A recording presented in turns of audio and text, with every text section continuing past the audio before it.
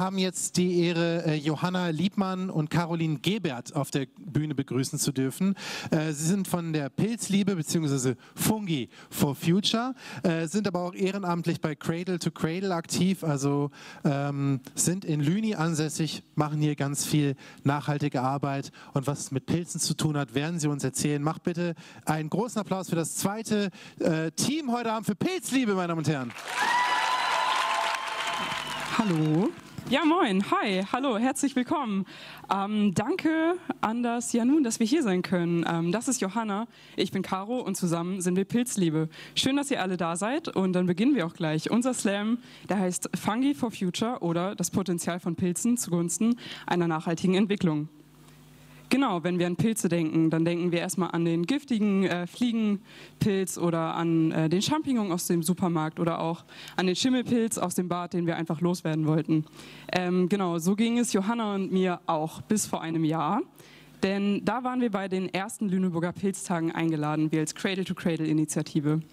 Ähm, oh, es ist gerade ein bisschen schwierig, das alles zu halten. Ähm Kannst du klicken? Super, danke. Teamwork. Wir sind ein gutes Team, ihr werdet das noch merken.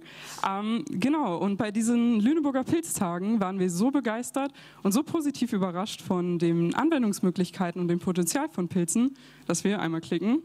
Ähm, ja, bis heute vollkommen begeistert sind. Zitat Johanna Liebmann, Hauptartikel der Landeszeitung, vergangenen Mittwochs. Wir, wir haben es tatsächlich auf die Titelseite geschafft. Unfassbar. Genau, ähm, man könnte. Ähm, man könnte fast meinen, wir sind in ein Loch gefallen. So ungefähr sieht das dann aus.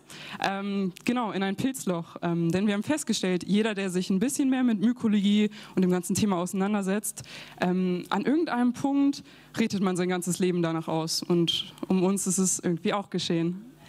Genau, und für alle von euch, die vielleicht noch nicht ganz so tief in dem Pilzloch stecken, haben wir hier noch mal ein paar Basics rund um das Thema mitgebracht. Das erste ganz Wichtige ist, Pilze sind keine Pflanzen. Sie betreiben keine Photosynthese, sondern sind ihr eigenes Reich und weil sie Zellatmung betreiben, sogar näher an uns Tieren und Menschen dran, als an den Pflanzen, zu denen sie lange gezählt worden sind.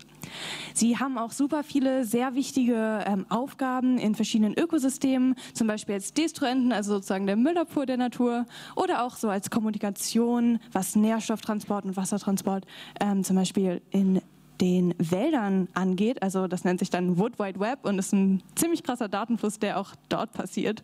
Ähm, genau, und das Dritte, was ich euch noch mitgeben möchte, ein kleiner Fun Fact, das, was ihr mit Pilzen wahrscheinlich als erstes assoziiert, ist das, was wir essen können, der Fruchtkörper. Aber das ist gar nicht der eigentliche Pilz, sondern der eigentliche Pilz ist das Myzel, dieses unterirdische Geflecht, ähm, genau, was der eigentliche Pilz ist und damit viel interessanter. Und was man mit Pilzen alles so machen kann, würden wir euch jetzt gerne einen kleinen Einblick geben. Ja, der wohl offensichtlichste Anwendungsbereich ist als Lebensmittel. Ohne den Hefepilz würde unser aller Grundnahrungsmittel gar nicht existieren. Bier. Oder auch Brot.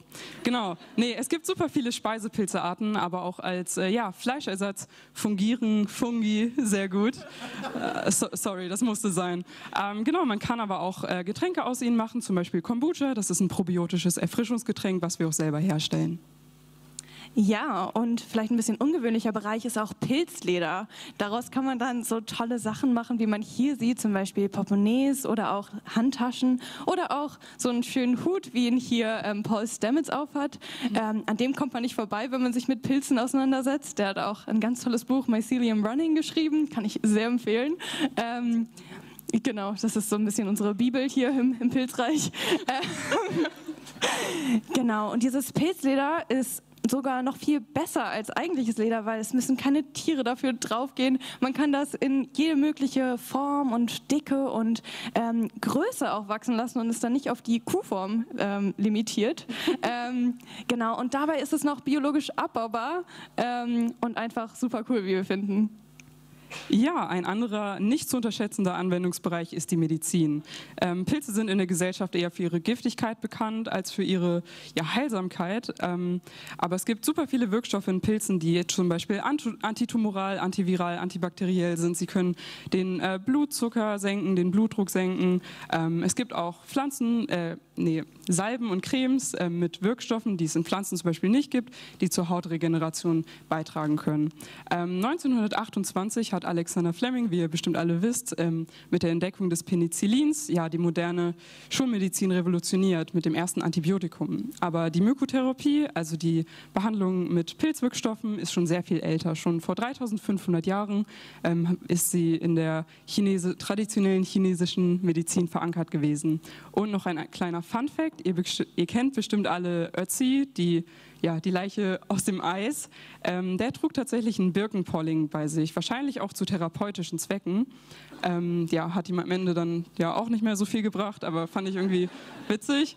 Ähm, genau, es gibt viele Ärzte, Ärztinnen und Mediziner, Medizinerinnen, die davon überzeugt sind, dass eine Mykotherapie im Rahmen einer ja, modernen integrativen Krebsbehandlung sinnvoll sein kann. Genau. Und ein Bereich, den wir auch super spannend finden, ist, dass man aus Myzel noch super, super viele andere Sachen machen kann. Und da kann man, denke ich, auch noch viel kreativer werden, als es bisher getan wird. Es gibt zum Beispiel, was ich hier auch mitgebracht habe, Styroporersatz aus Myzel. Das ist genauso leicht, hat super Eigenschaften, ist biologisch abbaubar, nicht aus Erdöl und damit auch wieder viel besser eigentlich als das, was es ersetzen soll. Ähm, genau, das sieht so aus, daraus kann man auch Dämmmaterial machen, man kann daraus auch so ein bisschen kreativ werden und Lampenschirme oder Hocker gibt es, das ist nämlich auch ganz schön stabil, das Zeug. Ähm, Genau, und das ist halt super cool. Das wächst innerhalb von so eineinhalb Wochen, ähm, ist biologisch abbaubar und kann dann halt, wird zum Beispiel wie Styropor nicht zu Mikroplastike mehr, sondern kann Fischfutter sein oder auch auf den Kompost die Erde aufwerten. Genau. Ähm, ja, so viel zu dem theoretischen Hintergrund. Aber was machen wir eigentlich? Was ist unser Projekt? Wir machen Upcycling mit, gutem Geschmack. Und genau, das ist Pilzliebe. Wir sind ein gutes Team, ihr seht das. Nein, ähm, was machen wir? Wir möchten Urban Mush Farming machen. Das ist ein relativ simples Konzept, was ich jetzt erklären möchte. Wir kooperieren mit mehreren Lüneburger Cafés und hoffentlich auch mit der Mensarbeit und bekommen deren Kaffeesatz. Das ist ja eigentlich nur ein Abfallprodukt. Soweit sind wir noch nicht, aber ist okay. ähm, genau, das ist ja eigentlich nur ein Abfallprodukt. Das kommt im besten Fall vielleicht noch als Dünger irgendwie in den Garten, aber eigentlich kommt es so in den Restmüll. Aber wir betrachten diesen Abfall als Nährstoff, weil wir darauf etwas Neues erschaffen wollen. Wir wollen nämlich darauf Edelpilze züchten, zum Beispiel Rosenseitlinge oder Limonenseitlinge, die ihr auch schon auf unserer Startfolie gesehen habt. Und genau, um das zu visualisieren, kommt jetzt die schöne Abbildung. Ähm, genau, wir starten unten, da sind wir natürlich noch nicht beteiligt, wo die Kaffeepflanze wächst. Natürlich der Fairtrade-Kaffee, versteht sich. Ähm, die Bohnen kommen dann nach Lüneburg und hier wird dann der Kaffee, der Cappuccino oder euer ja, Pumpkin Spice Latte mit Sojamilch getrunken, in welcher Form Koffein auch immer konsumiert wird. Das ist übrigens mein Lieblingsmolekül. Am Ende bleibt immer ja, Kaffeesatz übrig. Den holen wir dann ab mit unserem Lastenrad hoffentlich bald. Und genau, im Museum der Zukunft, das ist ein Treffpunkt zur Nachhaltigkeitsbildung von Professor Braungart und seinem Team. Dort haben wir Räumlichkeiten, um unsere Edelpilze zu züchten. Ähm, genau, diese wollen wir dann auf Wochenmärkten verkaufen und das Ganze hat einfach den Vorteil, dass keine Ackerflächen verbraucht werden. Ähm, es ist ein neuer Aspekt in der urbanen Landwirtschaft und es sind super geringe Transportwege. Aber das ist nicht alles, was wir machen wollen. Wir wollen auch Bildungsarbeit verrichten, um eben dieses Potenzial zu vermitteln. Ähm, wir sind frustriert von all den Problemen und wollen auch mal einfach was machen, ähm, Lösungen darbieten und genau auf kreative Art und Weise einen Beitrag zu einer regionalen, klimapositiven Landwirtschaft schaffen.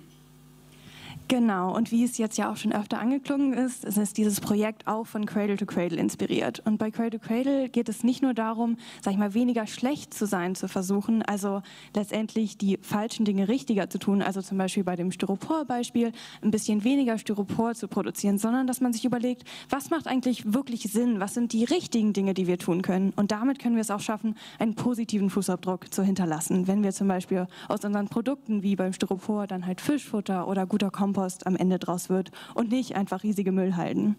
Ähm, genau, und diese Hoffnung, diese Lösungsansätze wollen wir einfach verbreiten und gemeinsam dafür kämpfen, dass wir eine lebenswerte Zukunft haben. Ähm, genau, und das soll unser Projekt auch mit anstoßen. Wenn ihr euch jetzt denkt, hey, ganz cool, darauf habe ich mehr Bock, dann könnt ihr gerne zu unserer nächsten Veranstaltung vorbeischauen. Zum Beispiel am Samstag hier im Zentralgebäude sind wir Programmpunkt von der Konferenz zur urbanen Landwirtschaft. Ähm, dort machen wir einen Grow It Yourself Workshop, wo wir euch zeigen, wie man ganz einfach Rosenseitlinge und andere Pilze selber züchten kann zu Hause. Am 18.02. haben wir im Blank einen Kombucha Workshop, das ist eben besagtes Getränk. Ähm, weitere Infos findet ihr zu, von über uns auf unserer Website pilzliebe.com oder auch auf Instagram, da sind wir sehr aktiv, aber wir haben auch Facebook.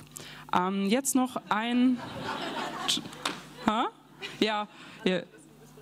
Ach so, ja, ja, Liebesbriefe empfangen wir natürlich auch sehr gerne. Much love to you. Ähm, genau, ein letzter Punkt, die letzte Folie. Ähm, genau, um unser Projekt endlich in einem größeren Stil umsetzen zu können. Also wir haben schon äh, Pilzzuchtansätze, aber die stehen in unseren Studenten-WGs und unsere Mitbewohner und Mitbewohnerinnen sind mittlerweile genervt. Wir wollen endlich richtig arbeiten. Hallo, Grüße an meine Mitbewohnerin, schön, dass du da bist. Ähm, sie kann das bestätigen. Ähm, genau, wir haben momentan Crowdfunding, um unseren Start zu finanzieren, um endlich unser Startup durchziehen zu können. Ähm, wenn ihr denkt, hey, äh, Lüneburgs urbane Landwirtschaft soll ein bisschen vielfältiger sein, dann könnt ihr uns da gerne unterstützen. Und am Ende bleibt nur zu sagen, mal Schlaf. Auf diesem Wortspiel basiert auch unser Name. Ähm, wir danken dem Janun, dass wir hier auftreten konnten. Danke für eure Aufmerksamkeit. Wir hoffen, ihr habt ein bisschen was gelernt. Dankeschön.